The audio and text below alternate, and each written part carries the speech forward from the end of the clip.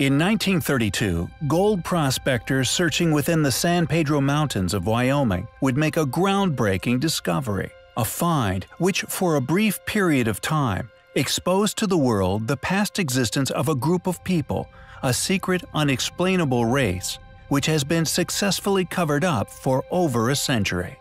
Cast into the realm of folklore, this group of people could be attributed to tales of gnomes or hobbits. The once native Crow people spoke of their ferocious nature for many hundreds of years. No taller than 36 inches in height, according to William R. Corliss in his 1978 book Ancient Man A Handbook of Puzzling Artifacts, citing the Anthropological Institute, Journal 6, 100, 1876.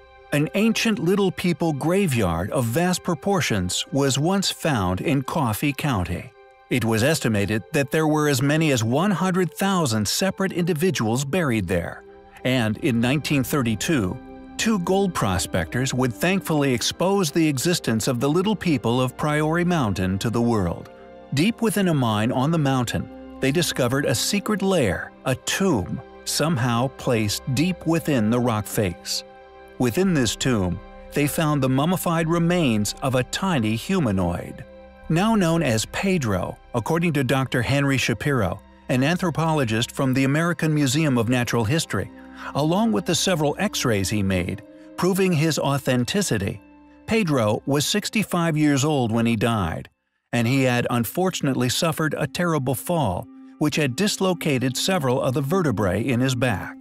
It seemed to Dr. Shapiro a head wound that he had apparently suffered some short time after may have been the result of his relinquished life, in a curious act of mercy by his fellow tribe members. The Crow tribe attests to these tiny people once being gifted warriors, feared by all those in the surrounding areas. They told of the little people murdering all who ventured near them even decimating a group of 200 strong warriors who mistakenly trespassed into their territories during the night. Pedro ended up in a pharmacy in Wyoming, and for seven years he was a successful local attraction. One day, when an unusual businessman offered to buy him, after apparently paying a very large sum, the man disappeared with Pedro, and he has never been seen of again. The only existing mummy of the Little People, it seems, was successfully confiscated during the late 1950s. To this day, it is not known where Pedro is, although for the person who locates his current residence, we have been made aware of a substantial cash prize for the person who can bring him back into the public arena, or at least enable further testing. If you know where Pedro is, please do get in touch there is someone with a rather large present waiting for you. In our most recent video, we covered the astonishing, still existing, unexplainable fortification designs and other inexplicable architectural features which can still be found within nearly every district of modern-day Italy. We covered polygonal walls, multi-ton lintels still bridging ancient archways, resulting in the conclusion that much of modern-day Italy rests upon a pre-Diluvian foundation, stone relics from an era within history that has been hidden from the majority of the world for several centuries. However, thanks to modern technology and the power of communication in which it has provided, photographic studies, past investigators' research available, and a resulting far-reaching exposure of this overwhelming evidence across the globe all at the click of a button. The evidence we continue to share not only contradicts modern academic theories regarding the origins of such structures, but thanks to the ability to collect and compile this information digitally through the medium of computers, certain individuals with an acute sensory ability have not only been able to share volumes of noticed anomalies that for many years were overlooked, but have linked these factors together through characteristics, and as such, have come to a conclusion that the evidence to suggest a past highly capable civilization once flourished here on our planet is now overwhelming. A civilization that at some point within antiquity possibly came to an untimely demise due to cataclysm, or transcended to a location, or indeed realm, we are yet to discover. master stonemasons, once creating incredible polygonal structures. Not only built with no mortar, but were capable of withstanding considerable onslaught, either from invading parties or natural disaster. A testament to this being that many still stand as proud today as when they were first built. A civilization that throughout our last few videos, initially aided by other compassionate, good-intentioned antiquarians, have been linking thanks to their decision to construct such monuments with unique stylized block designs, possibly cast using as yet undiscovered advanced ancient technology, or indeed carved with as yet undiscovered precision stone-cutting tools, which we have used to begin to identify this now lost civilization's work, ancient as yet unexplained ruins the world over, with this compelling complement of evidential factors supportive of our postulation of a past worldwide dominance. And although we personally hypothesize that the only logical culprit which matches our continued discoveries of their dominant existence, and indeed advanced nature, being that of the Atlanteans, this premise at this moment in time is not the most pressing factor regarding our research. Indeed, at this moment in time, it is vital that we continue to compile a solid thesis which will eventually, inevitably, make any academic's claim as to a denial of their past existence inexcusable. Ancient stone relics, found in nearly every country on nearly every continent on Earth, with our next area of focus being that of the gigantic Cyclopean ruin, which can be found within modern-day Bosnia.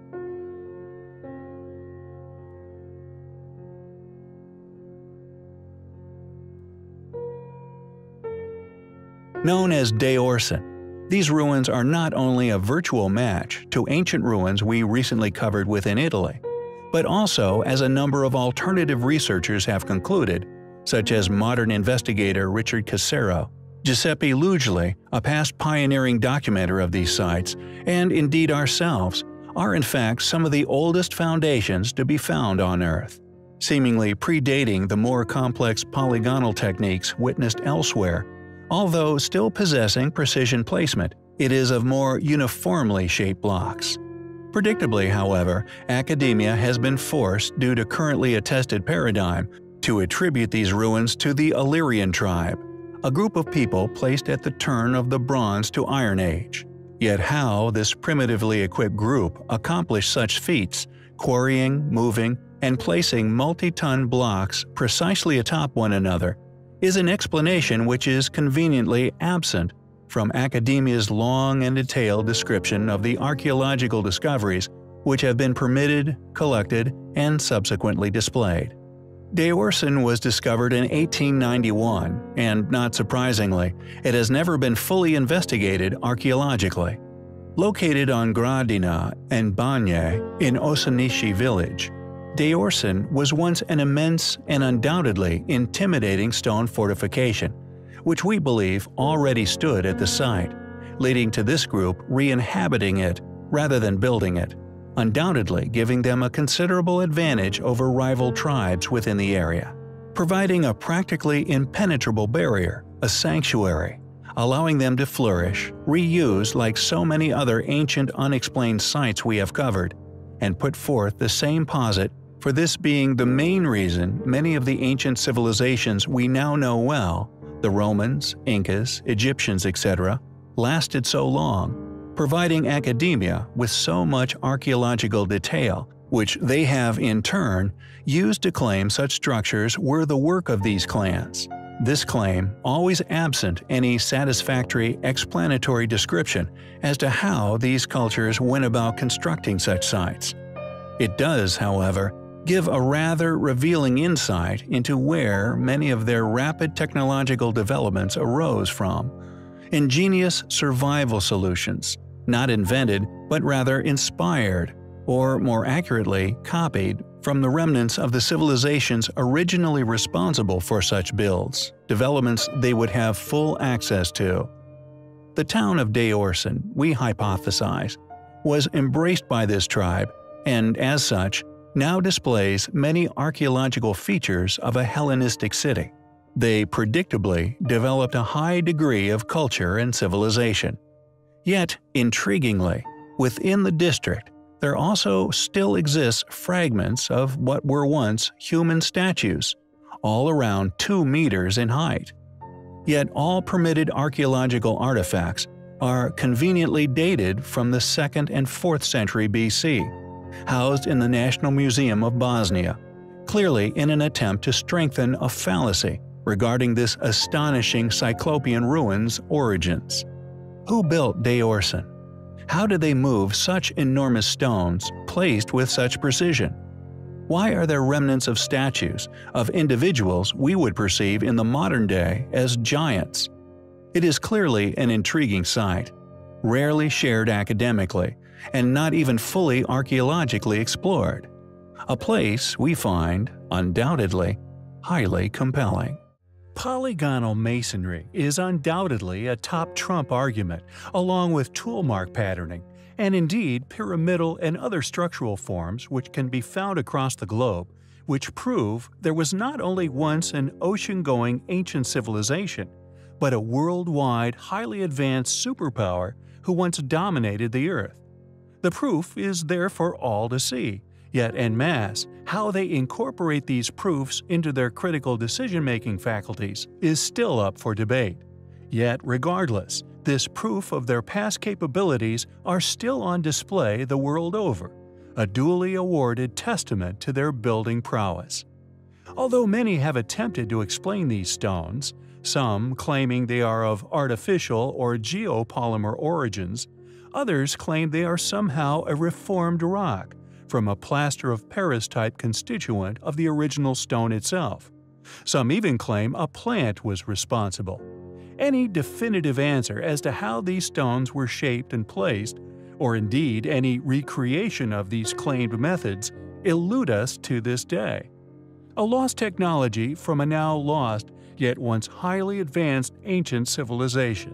Cusco, which translates as the City of the Puma, holds some of the most exquisite and best preserved polygonal masonry to be found anywhere. Home to the famous 12-sided stone, something which many are not aware of, however, is that it is also home to dozens of carvings and structures which were intended as artistic masonry renditions of animals, one of which, namely the puma. Academic hypothesis suggests that these creations were built by the Inca, to once form the boundary walls of an ancient temple. Yet like the countless other areas we explore here on our channel, any explanation as to how the walls were constructed, or indeed why pumas and other animals were incorporated into this enigmatic stonework, is absent from all and any academically accepted historical description of their origin. We feel that these structures were built for a reason, even stretching as far as Egypt, present as casing stones on the pyramids of Egypt themselves. They wanted future man to witness this stonework, built to last and to remain immovable. It is as if they were trying to tell us something about their existence, and indeed the true history and perhaps future fate of mankind. We find Cusco's Puma, and indeed the lost knowledge itself, highly compelling. Semir Osmanagic, a Bosnian-American businessman now based in Houston, Texas, has long claimed that a particular and uncannily angled hill, long presumed as a natural formation, is actually the largest human-made ancient pyramid on Earth. The claims have predictably been met with hostility by those in the academic world who protect modern paradigm. His work has also been heavily criticized, not only as a hoax, but damaging to the other areas of Bosnia which are authentic and mainstream accepted ruins. However, regardless of these hostilities, Semir has continued his research and promotion of the area as a tourist attraction. Furthermore, what he has since discovered from numerous excavations is curious, clearly artificial, and massive ancient activities now hidden beneath several meters of strata. Not only have these discoveries of ancient masonry corroborated his ancient claim, but there is also evidence to suggest that incredible efforts were made to divert and control the flow of local water systems, channeling them into and beneath the structure.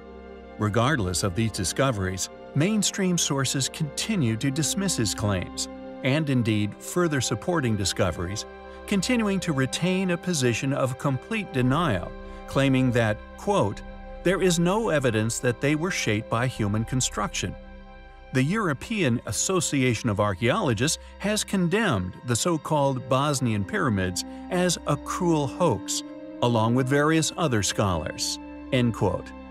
There are others, however, who have looked into the research and indeed Semir's efforts in depth, and from this have come to realize that there is much about this curious hill still to be unraveled.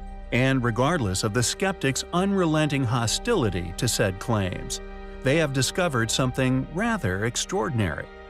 According to radiocarbon dating, done on an artificially constructed tunnel which penetrates the pyramidal feature, if accepted by mainstream academics, they would also have to be dated at over 32,000 years old.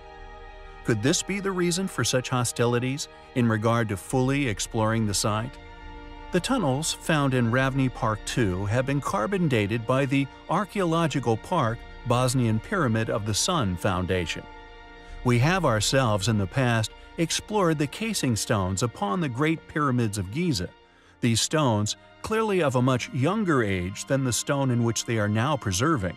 Severe erosion upon these earlier stones, we feel, may also be indicative of a similar age to that found at the Bosnian site.